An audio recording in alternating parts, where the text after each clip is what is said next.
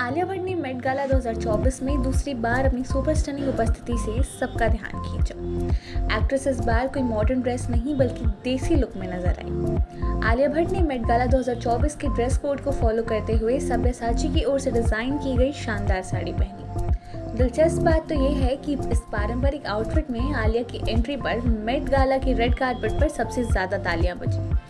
जब आलिया ने पोस्ट दिया तो इंटरनेशनल पैपराजी राहा की मॉम का नाम चिल्लाना बंद नहीं कर सके। आलिया भट्ट सब्यसाची की साड़ी में बेहद खूबसूरत लग रही हैं और फैंस उनके लुक को देखकर दीवाने हो रहे हैं। एक यूज़र ने लिखा कि अब आप इस तरह मेड गाला में जाओगी तो हमारा दिल धड़कना कैसे बंद होगा? एक दूसरे यूज़र ने लिखा कि बेस्ट ड्रेस लुक आलिया आप हुस्न परी लग रही हो।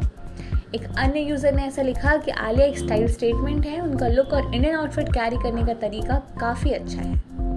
आलिया भट्ट ने लाइट ग्रीन रंग की साड़ी में अपनी खूबसूरत अदाओं से फैंस को इम्प्रेस किया। स्लिट बन और शीश माथा पट्टी पहनी एक्ट्रेस हुस्न की बिजलियाँ गिरा रही थी। बता दें कि हाथ से कढ़ाई की गई साड़ी को तैयार करने में 1905 घंटे लगे, जिसमें एक कारीगरों की मेहनत लगी थी। इवेंट में आलिया ने बताया कि उन्होंने स्टाइलिस्ट के तौर पर सब्यसाची को ही क्यों चुना। एक्ट्रेस ने कहा, यह सब्यसाची की ओर से डिज़ाइन किया गया है। यह मेट में मेरी दूसरी बार है।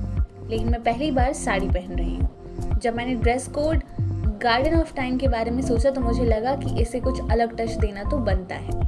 वर्क फ्रंट की बात करें तो आलिया भट्ट जल्द ही जिगरा में नज़र आएँगी।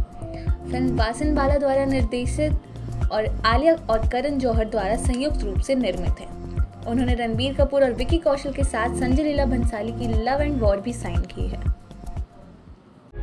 प्रभात खबर डॉट कॉम विश्वास वही रफ्तार नहीं।